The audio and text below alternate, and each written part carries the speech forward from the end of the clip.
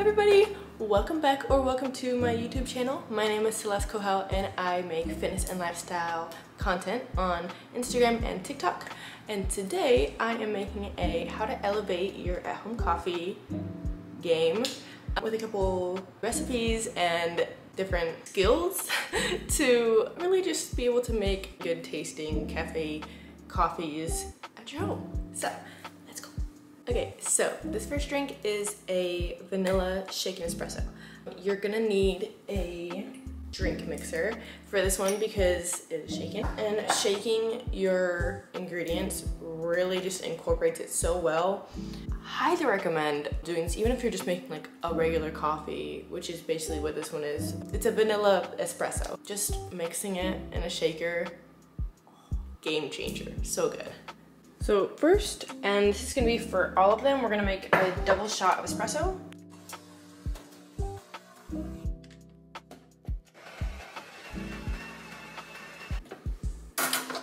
So it might be different with whatever machine that you're doing, a double shot, or if you prefer a single shot, then just do it that way.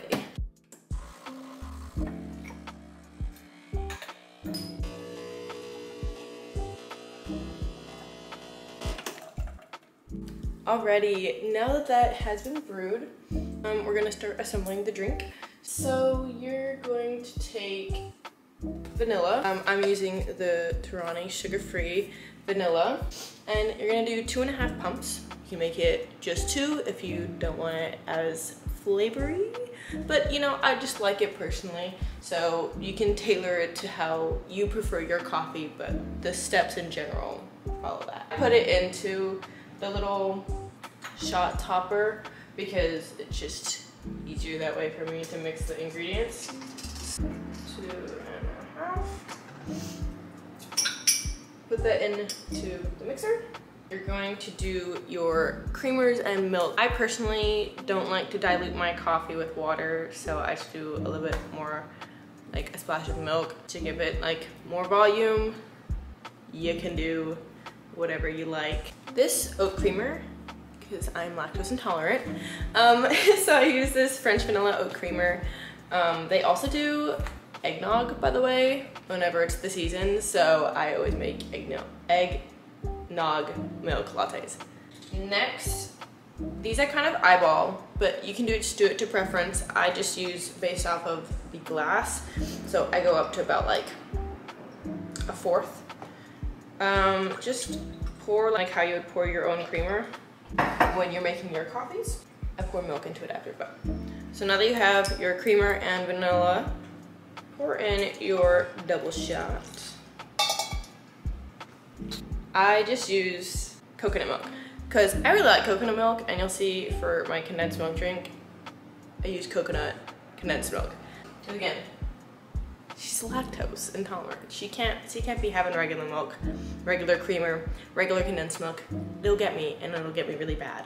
So anyway, top it off with some milk, just because I like drinking more coffee. And then that's kind of then how you can see, okay, that's really how much coffee that I have. You get it. And now that you have your drink, and you'll get some ice. Um, just gonna fill it into this because it's a cylinder, but you can just fill it however. But you're gonna need a good amount of ice. And don't worry, we're not gonna put that into the drink or you can put a couple cubes into the drink when you're done with it. But just get a bunch of ice because when you shake it, then it's going to just combine a lot better than if you're to shake it with nothing in it. So add a lot of ice. It's also gonna make it super cold and you, when you pour it, you'll see, you'll get this little froth at the top if you've shaken it enough. So good, so good. So let me get some ice. All right, so now that I have my ice, I'm gonna gently put that all in there. Close off that top. Make sure it's really tight on there because I've had a lot of instances where I start to shake it and it just goes everywhere. So learn from me.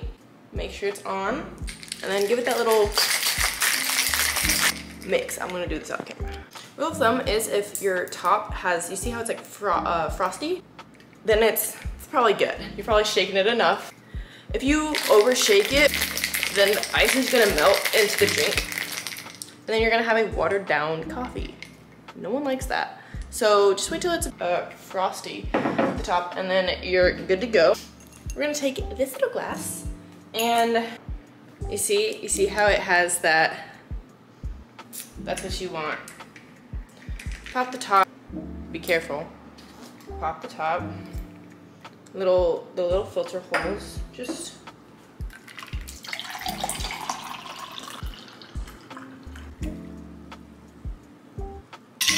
There you go.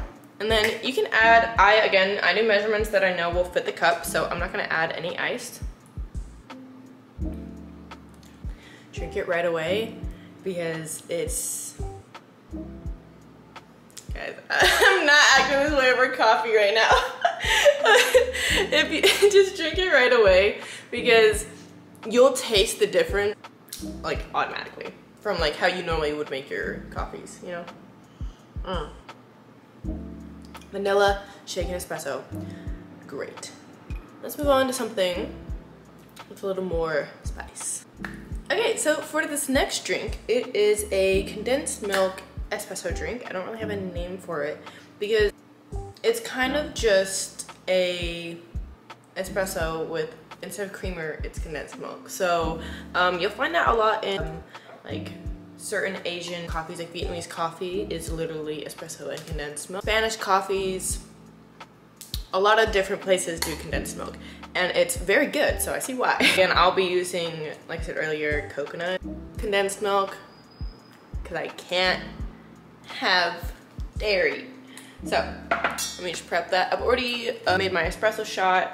Um, haven't poured it yet because we're gonna pour it over the condensed milk because that's going to um, incorporate it a lot better. So let me open that. So I just kind of coat the bottom of my glass with condensed milk. Jar because again, you will be putting the espresso shot on top of this. So you can kind of just do it to taste, but I like to do uh, like three tablespoons of condensed milk. Now let's put that espresso shot into it.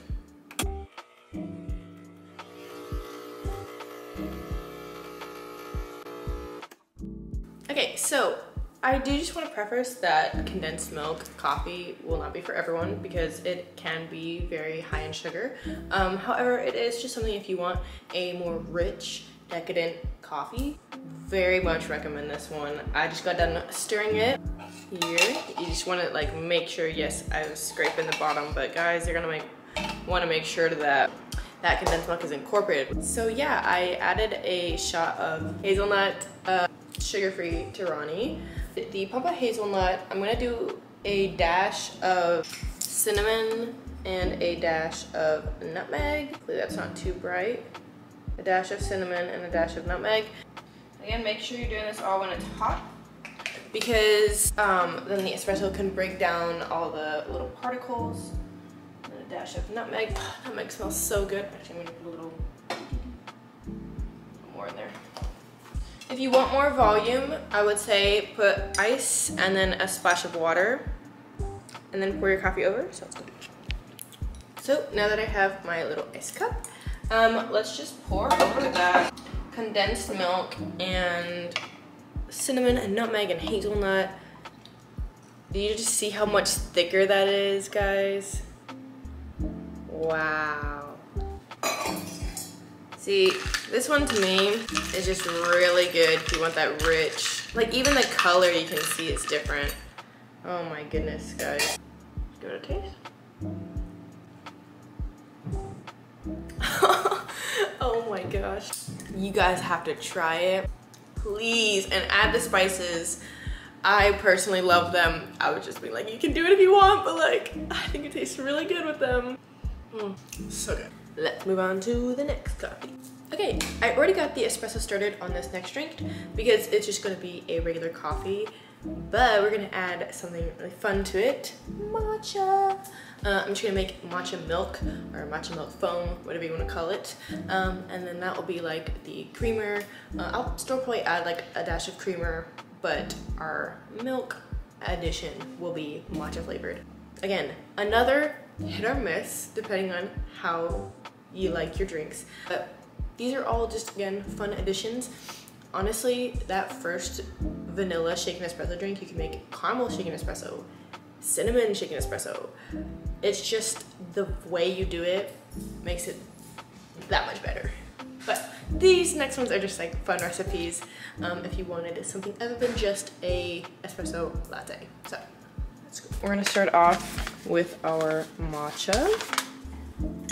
Um, I got some honey just to taste. I like to add a little bit of honey. This is really good honey, by the way, guys. Um, and then you'll need your matcha whisk if you're making your own matcha, um, which is the best way to do it. Oh, and you'll need a little sifter for your matcha. So let's just put that on top. And then let's get our matcha situated. Oh, look at this, look, look, look. Oh. How magical that is. That green is amazing, guys. So. No! We're gonna just file that in there. uh, it hit a packet that's in here and just exploded. That's so bad. Okay, um, well, let's just do, I'm gonna clean my hand off. I'm so sorry, guys. Just get our matcha sifted. So now we're gonna add some hot water, um, mix that around, and then we're gonna add more um, until we have a good sized matcha. Okay, now that you have some hot water, so that's probably incorporated as of now. Let's turn that off. And then continue our mixing. Going to mix it off camera because this is kind of hard to show you. Add the honey now because it's steaming hot, so this honey is going to incorporate very well. Push that to the side and stir this up. That is a good matcha. Ooh, look at that color. Alrighty, and now we are going to add the milk and or creamer. You can do milk or creamer. Again, I'm using this coconut milk. Add that in. So now we have milk matcha, and let's froth it up. And so I'm gonna use my Gerber Mind mixer to froth that up. But yeah, you're just frothing up your milk. It smells delicious, by the way. Look at that. Alrighty, so um, we have our base, which is just a double shot of espresso, one shot of vanilla, and then a dash of the creamer and some ice. So it's gonna be like go out a little over halfway of your glass. Super frothed up matcha. By the way, this is basically just a matcha latte, um, but it would be the same way to just make it. You don't have to do water, you could have just done hot milk, and that would have frothed it up on top. Pour that in.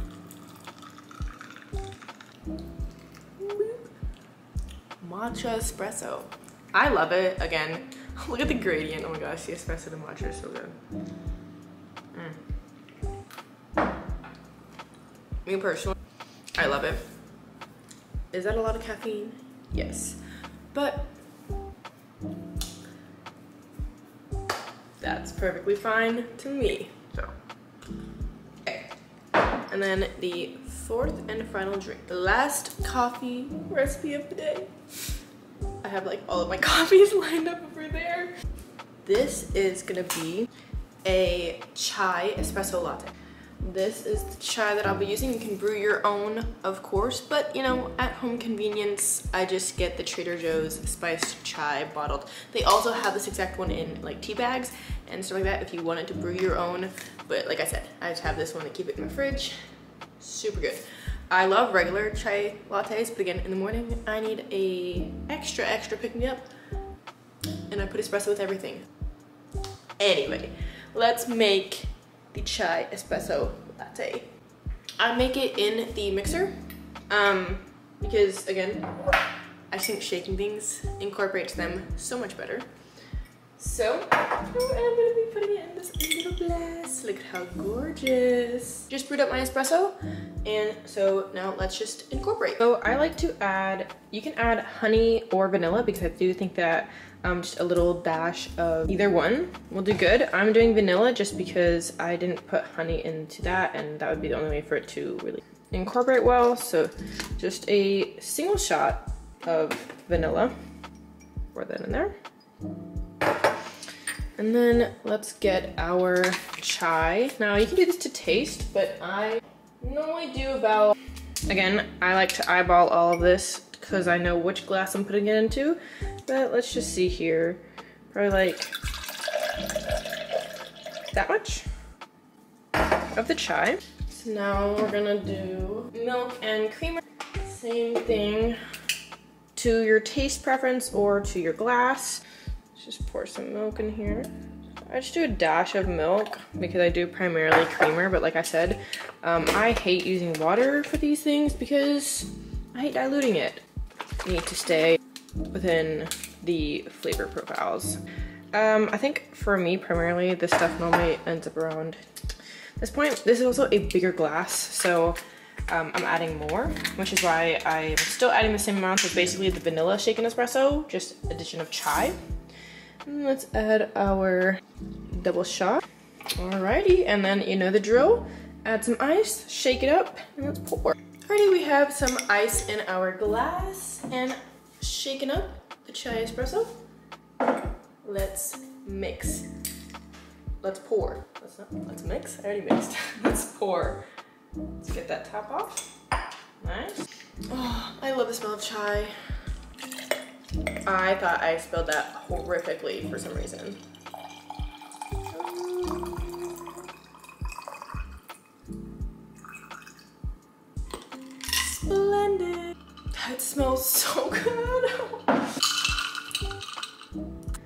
Particular, again, if you like chai, matchas, and different tasting coffees, super, super up your alley. I think everyone should try them.